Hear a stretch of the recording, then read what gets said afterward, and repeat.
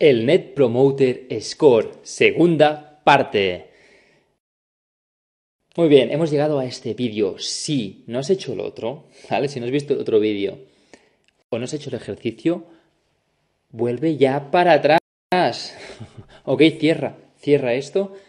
¿Por qué? Porque no quiero que influya este vídeo en tus resultados.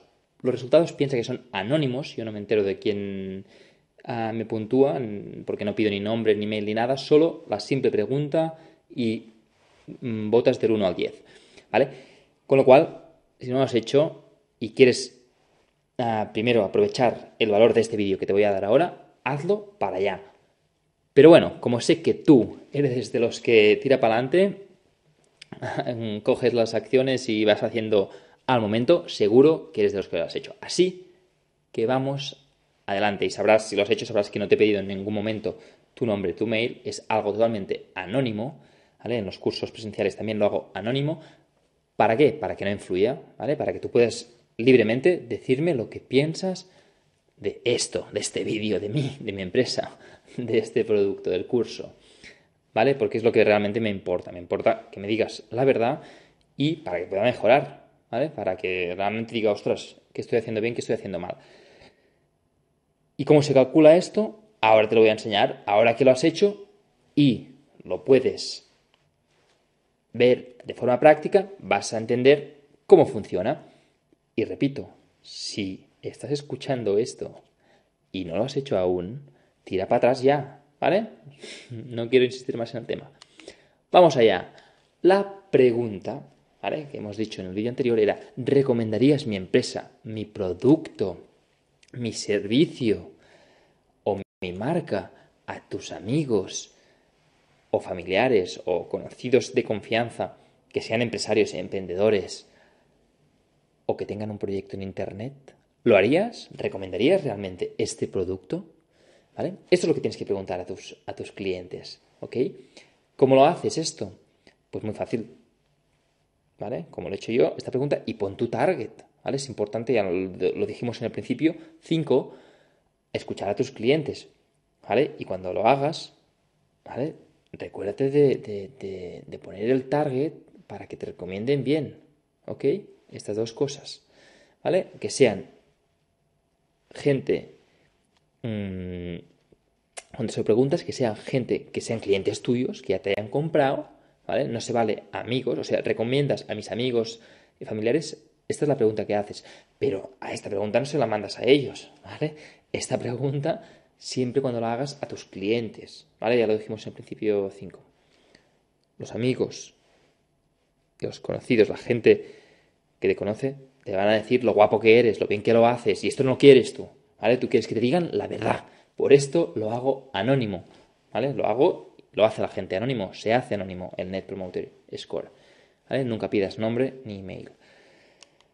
Y luego, ¿vale? Les dices que te voten del 1 al 10, ¿vale? Esto es lo que, lo que habrás hecho tú en el vídeo anterior y, haciendo el ejercicio práctico, ¿vale? Habrás votado este curso del, del, del 1 al 10, ¿vale? Los que te votan del 1 al 6, a estos, para estos tengo un nombre, se les llama de una forma, ¿Vale? Pero vamos, ahora te lo explicaré, pero los que te votan con el 1 o el 2 es que, tío, les haces vomitar tu producto, servicio, empresa, ¿vale? Me estás viendo ahora, ¿vale? Y te hago vomitar, ¿vale? Esto no puede, no puede ser, ¿vale? Supongo que no, no será el caso, tu caso, porque muy pocas veces la gente a la que haces vomitar llega a este punto. Supongo que en mi caso habrías cerrado los vídeos ya al ver dos o tres, ¿ok? Luego están los, los 3-4 que, que se duermen, ¿vale? Te estás durmiendo con mis vídeos, no estoy entreteniendo ni educando ni nada y fatal, ¿vale? Luego los que te votan con 5 o 6, ¿vale? Es gente que te vota pero dice, venga, tira ya, pasa, porque bueno, están bien, pero se tienen que mejorar muchas cosas de este vídeo, ¿vale? Esto es normal, ¿vale? En, cursos presenciales que lo he hecho, hago el mismo ejercicio, igual, primero la parte de, que ellos lo hagan y luego les explico cómo hacerlo ellos y la nota más baja que he sacado eh, ha sido un 6. ¿Vale? Es normal que te voten con 6, es, incluso menos. A mí me pueden votar también con unos, con dos, con tres, ¿vale? Aunque no es tan normal encontrártelo porque generalmente ya estos, lo dijimos, ¿no? Son los que te ignoran, pasan de ti, no les gusta para nada, ¿vale? Y es mucho mejor que te digan lo mal que lo hacen, o sea, que escúchalos bien, lo mal que lo haces, perdona, escúchalos bien y, y intenta mejorar tu producto o servicio, ¿vale? Yo siempre lo hago, ¿vale? A estos, este grupo del 1 a 6 se les llama detractores, ¿vale? Son los detractores de tu marca, de tu producto, de, tu servicio, de tu empresa, ¿vale? 7 y 8, ¿vale? Estos son los pasivos, los neutros, ¿vale? Estos te han votado bien, pero tampoco son aquellos que dices, hey, te voy a recomendar un montón o tal. No, está muy bien, ¿vale? Y luego los 9 y los 10 estos son los clientes que quieres tener, ¿vale? Con lo cual tienes que mejorar tanto para llegar a este punto, que tengas el máximo de 9 y de 10, ¿ok? Estos son los que dicen, venga, vamos allá, pero qué pedazo curso me estás haciendo aquí, que cómo me mola, lo voy a recomendar a mis amigos que sean emprendedores, empresarios, para que lo hagan, ¿vale? Para que puedan pagar el precio ridículo este que, al que lo tienes puesto o que puedan o que solo es gratis porque son las dos formas que puedes acceder a este curso ¿vale? O a un precio ridículo, o si me das tu permiso para enviarte, machacarte ahí con, no machaco, ¿eh? yo nunca no hago spam, pero enviarte sí a ofertas y, y, propuestas de valor, te mando artículos en el blog que te pueden interesar. Esto, pues si has optado por eso, lo tendrás gratis. Y si no, pues habrás pagado poquísimo. Nada que ver con el precio de venta que tengo en la web. O sea que a estos son los que van a recomendarlo. ¿Vale? Van a decir, venga, pum, haz este curso. Y esto es lo que quieres, ¿verdad? ¿Vale? Esto se les llama promotores. ¿Ok? Y el Net Promoter Score, ¿cómo se calcula? Pues se calcula con el porcentaje de promotores menos el porcentaje de detractores. ¿Vale? Por eso es muy difícil tener un buen porcentaje en Net Promoter Score. Es súper difícil.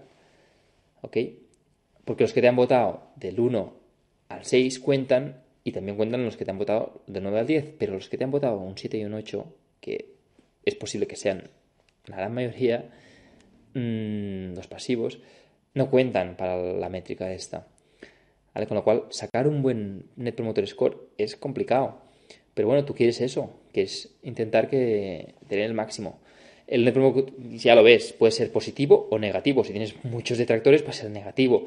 Si tienes todos son 10, el máximo que puedes sacar es un, un más 100% ¿vale? de, Net Promoter Score, que esto ya te digo, es, muy complicado, ¿vale? Tener un Net Promoter Score más elevado del 50% positivo uh, ya se puede considerar como un Net Promoter Score excelente, ¿vale? Y las empresas que tienen un Net Promoter Score excelente tienen mucho menos gasto en marketing y en publicidad, ¿vale? ¿Por qué? Porque la gente lo va recomendando, es algo que ya tienes el producto o el servicio o tu empresa ya es tan buena, ¿vale?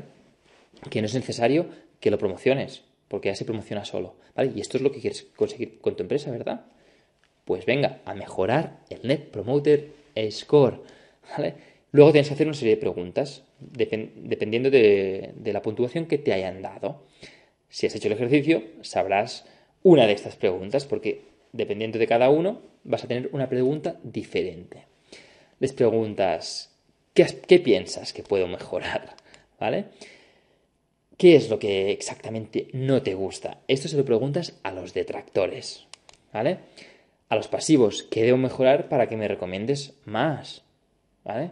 Y a los promotores les preguntas, ¿qué es lo que más te ha gustado y recomendarás? ¿Vale? ¿Cuál de, las cosas que hago?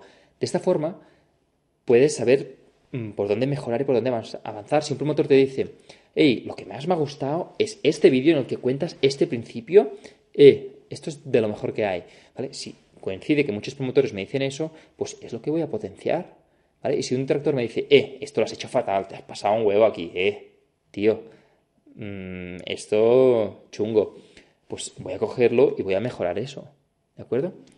Y los pasivos igual, los pasivos que debo mejorar exactamente para que me recomiendas más y, me votes más alto. ¿Vale? Te van a decir sus motivos. ¿Vale? Escúchalos, escúchalos activamente y venga a mejorar. Y no te preocupes si tienes detractores muy heavy, de uno o de dos. ¿Vale? Es muy difícil tener uno o dos porque casi nunca van a llegar a decirte algo estos, ya van a pasar de ti y van a decir fuera, me voy, me voy con otra empresa. ¿Vale? Pero si tienes uno de ellos, pues escúchalos también, ¿vale? Ya lo dijimos en el principio 5, de escuchar, ¿vale? Y no, hagas caso a todos, tío, todo lo negativo tampoco, ¿vale? pero realmente, pues si son críticas constructivas, utilízalas para mejorar, ¿ok? Hasta aquí este punto del Net Promoter Score. Espero que te haya gustado y ahora es el momento del ejercicio. Cógelo tú, ¿vale? Has visto cómo lo he hecho yo. Te, doy aquí los pasos que tienes que seguir, ¿vale? Hacer una pregunta y luego preguntar estas tres cosas distintas dependiendo de lo que te preguntan.